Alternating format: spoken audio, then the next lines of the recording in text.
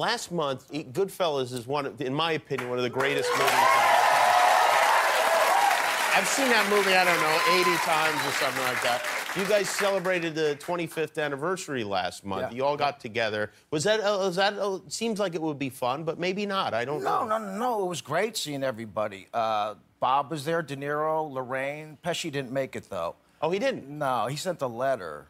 Oh, really? How old fashioned? And then Bob read it. Did he really? And basically it said, sorry I can't be there. but the f***ing f***, f***, f***, what the.